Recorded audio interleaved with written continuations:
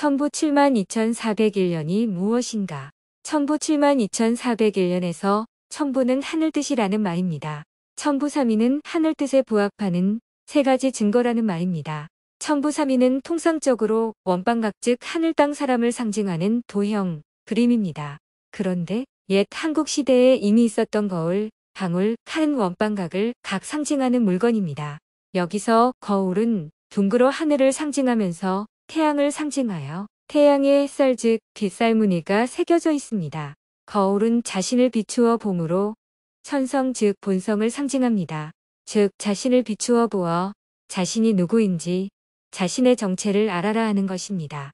다시 말하면 무한히 밝은 광명의 존재임을 깨달아라 하는 것입니다.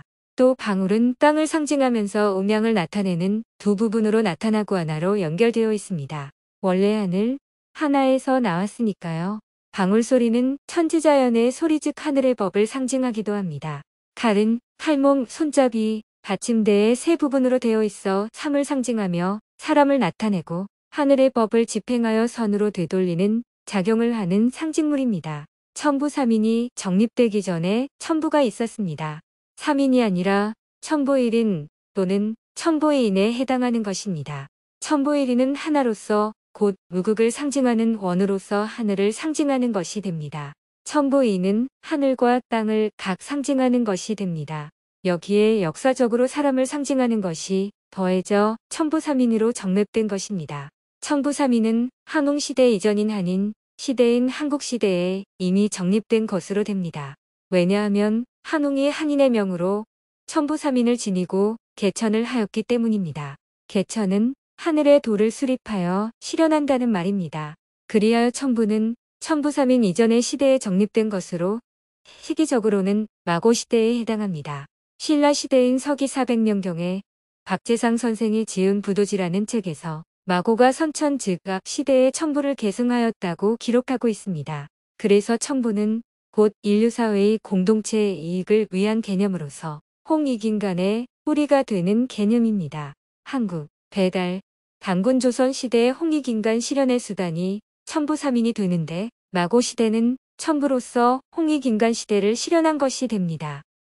악을 응징하거나 처단할 필요가 없으므로 칼이 필요하지 않은 천부 시대로서 천성, 등 인간 본성으로 천법 즉 천지자연의 순리에 순응하며 살아가던 낙원 시대가 되는 것입니다.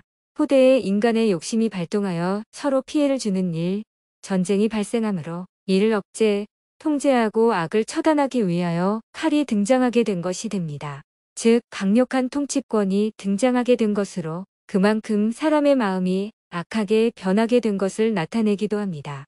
다 아시다시피 한인의 한국 시대는 곧 하늘나라 시대로서 천국 시대이므로 낙원 시대임을 알 수 있고 한웅의 배달나라 시대는 한웅이 한인으로부터 천부삼인을 전수받아 개천을 하여 하늘의 도 하늘의 법을 실현하였으므로 또한 홍익인간 시대이며 당군의 조선시대도 배달나라의 천부삼인을 전수받아 홍익인간을 실현하였던 시대입니다.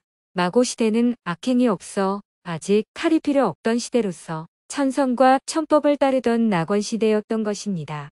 즉 천부시대였습니다.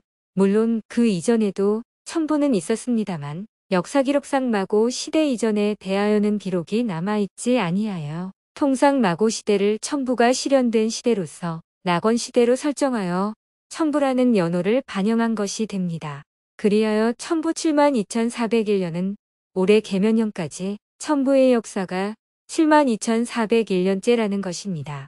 한인의 한국 시대가 서기 전 7197년부터 3301년, 배달나라 시대가 서기 전 3897년부터 1565년, 당군 조선 시대가 서기 전 2333년부터 2096년 또는 2102년으로 이후 지금까지 모두 합 9220년의 역사가 되고 한국 이전의 역사가 63,182년이 되므로 서기전 7378년부터 횟수로 합 72,401년이 되는 것입니다.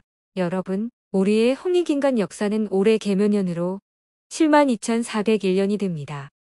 천부의 역사가 72,401년이며 천부 3인의 역사는 9,220년이 되는 것입니다.